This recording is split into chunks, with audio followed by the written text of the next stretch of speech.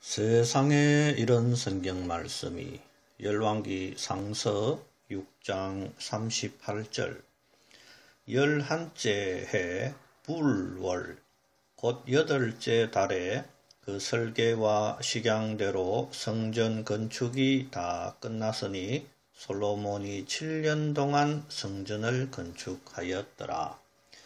솔로몬이 7년에 걸쳐 성전을 완성하고 모세로부터 성막에 계셨던 하나님의 법궤를 성전으로 모시게 됩니다. 이 성전을 솔로몬 성전 또는 제1성전이라고 합니다. 성전이 세워진 장소는 예루살렘이요. 고대 아브라함이 이삭을 번제로 드리려 했던 모리아 산이요.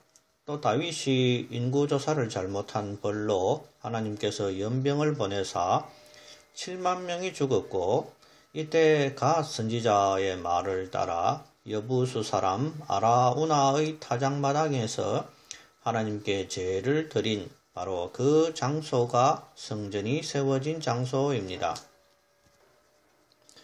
이 성전은 BC 586년 4월 바벨론의 느부갓네살 왕에게 예루살렘이 점령당하고 5월 7일에는 바벨론 왕의 신복 시위대장 느부사라단에 의해 성전이 불에 타서 소멸되고 맙니다.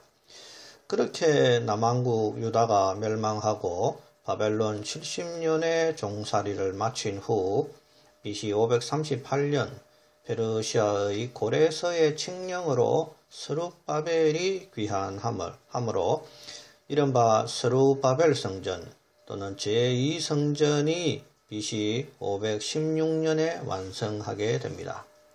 스룹바벨 성전은 솔로몬 성전에 비해 매우 초라하였고 이후 예수님 당시 헤롯 대왕이 유대인의 관심을 사려고 매우 거대한 규모로 증축하게 되며 AD 70년 로마의 티투스 장군에 의해 예루살렘이 함락될 때 예수님의 예언대로 돌 위에 돌 하나도 첨놓이지 못하고 무너지게 됩니다. 그렇게 유대인들은 나라를 잃고 온 세상으로 흩어진 후 1948년 아, 텔아비브의 한 미술관에서 이스라엘의 정치가 벤 구리온이 독립선언서를 발표하면서 이스라엘의 건국이 되며 오늘에 이르고 있습니다. 그래서 어, 지금 현재는 성전이 없으며 그 성전터에 놀랍게도 이슬람교의 황금돔 사원이 버젓이 서 있습니다. 그래서 언젠가는 바로 그 황금돔이 무너지고 그 자리에 하나님의 성전이 세워질 텐데 그 미래의 성전을 이른바 제3성전이라 하는 것입니다. 성경이 말씀하는 성전은 예루살렘에 있는 단 한 개의 성전만을 지칭합니다. 오늘날 교회의 예배당을 성전이라 표현하는데 물론 하나님이 임재하는 곳이면 다 성전이지요. 우리 몸도 하나님의 영이 계시면 성전인 것이지요. 그러나 성전의 개명은 개념은 분명히 알고 있어야 하며 교회 예배당을 지으면서 성전이라는 말로 성전 건축 헌금을 요구하는 것은 교인들의 마음을 성전이라는 말로 자극하여 헌금을 자아내는 잘못을 저지를 수 있음을 알아야 합니다. 다시 제3성전으로 돌아가서 이후 유대인의 손으로 황금돔 사원의 바로 그 자리에 성전이 세워질 텐데 그 때가 바로 종말의 때임을 알아야 합니다. 데살로니가 후서 2장 4절에는 즉 그리스도 곧 불법의 사람 또는 멸망의 아들이 나타나서 하나님의 성전 어, 이른바 제3성전에 앉아 자기를 하나님이라고 내세우느니라 라고 기록하고 있습니다. 제3성전을 즉 그리스도가 장악하고 자기가 하나님이라고 말하는 참담한 일이 일어날 때가 어, 아마도 요한계시록의 일곱 인과 일곱 나팔이 떨어지는 대환란의 시기라고 봅니다. 일곱 인과 일곱 나팔의 대환란 이후 일곱 대접이 이 땅에 떨어지고 지구는 완전히 초토화될 것입니다. 그러나 에스겔서에는 성전, 어, 이른바 제3성전의 문지방에서 물이 솟아나와 그 물이 닿는 곳이 새롭게 소생하는 장면이 나옵니다. 그래서 다시 지구 환경은 노아 홍수 이전처럼 회복될 것이며 사람이 나무에 소한 같이 오래 살고 백살에 죽은 자를 아이가 죽었다 말할 정도고 또 사자가 풀을 먹고 아이가 독사의 굴에 손을 넣어도 물지 않는 그러한 때, 곧 천년 왕국으로 이어지게 되는 것입니다.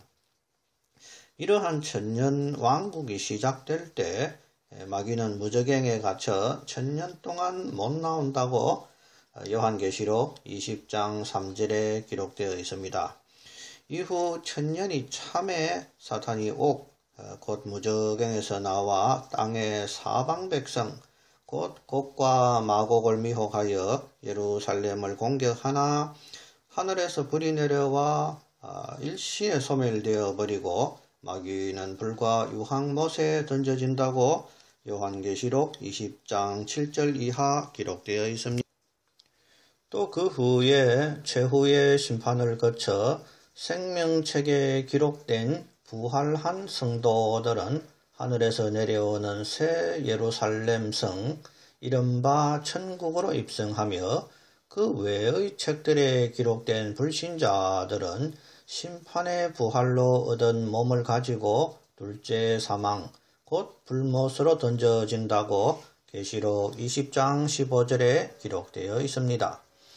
여기서 성도의 부활은 일곱 번째 나팔이 불려질 때이며 이후 천년왕국이 지나가며 천년왕국이 끝나고 불신자들이 심판의 부활을 받음으로 성도와 불신자들 모두가 부활을 하는데 천년의 차이를 두고 부활하게 됩니다. 또 일반적으로 교회에서는 낙원과 천국, 음부와 지옥을 구별하여 가르치지 않는 것을 봅니다. 성도의 영은 죽은 후에 천사들에게 들려 아브라함의 품, 곧 낙원에 낙원에서 마지막 나팔이 불려질 때까지 몸이 없는 영의 상태로 쉬게 되며 이후 예수님 재림할 마지막 나팔이 불려질 때 신령한 몸으로 부활하여 천년을 왕 같은 제사장으로 주님과 더불어 만국을 다스리게 되는 것이며 천년 왕국이 지나가고 불신자들의 최후의 심판이 끝나고 그 후에 이미 부활한 성도들이 비로소 진주문을 통과하여 이른바 천국에 입성하는 것입니다. 그래서 낙원은 성도가 영으로 쉬는 곳이며 천국은 천년왕국 이후에 부활한 몸을 가지고 입성하는 것임을 분별하시기를 바랍니다. 또 불신자의 경우 죽음 이후에 그 영이 음부로 떨어지며 목이 마르며 불꽃 가운데 고통받는 것으로 주님께서 부자와 나사로의 비유에서 말씀하셨습니다. 음부에서 영으로 고통받던 불신자의 영은 천년왕국이 지나기까지 그대로 있다가 천년이 참에 심판의 부활로 부활한 몸을 가지고 최후의 심판을 받고 둘째 사망 곧 불못에서 영원토록 불로 소금침을 당할 것을 성경은 말씀하고 있습니다. 그러므로 음부는 불신자가 영으로 고통받는 곳이며 지옥 곧 불못은 부활한 몸을 가지고 영원히 고통받는 것임을 분별하시기를 바랍니다. 성경은 성도가 천국에 이르는 데까지만 기록하고 있습니다. 신령한 몸으로 영생을 지내게 될 그 이후의 삶에 대해서는 성경은 침묵하고 있습니다. 신명기 4장 19절에는 하늘 위에 해, 달, 별들을 하나님께서 천하 만민을 위해 분정하신 것이라는 표현이 있습니다. 아마도 저 우주의 수없이 많은 별들의 통치와 개발을 신령한 몸을 가진 신이 된 주의 자녀들이 그때에 담당하지 않을까 상상해 봅니다.